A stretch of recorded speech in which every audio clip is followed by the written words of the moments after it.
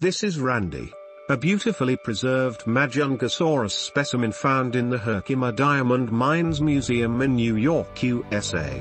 Though incorrectly called Majungatholus.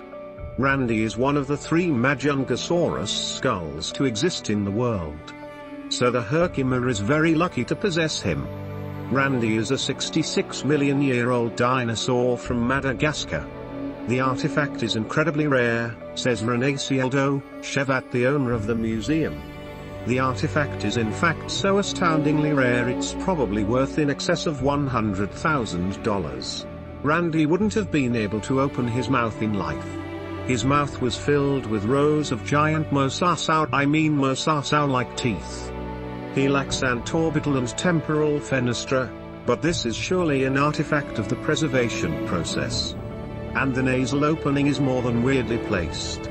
A team was sent into the jungles of Madagascar in trail, a bulldozer unearthed the concrete, I mean dinosaur from his 66 million year old tomb. Randy was found alongside his last meal.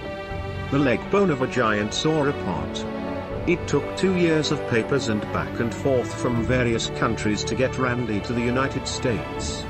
The Herkimer is indeed very grateful. Here's my reconstruction of this captivating wonder.